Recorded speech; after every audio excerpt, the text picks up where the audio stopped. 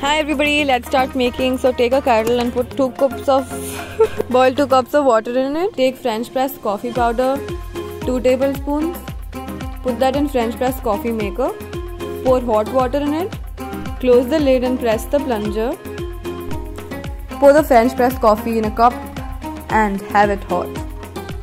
Don't forget to subscribe, like and share.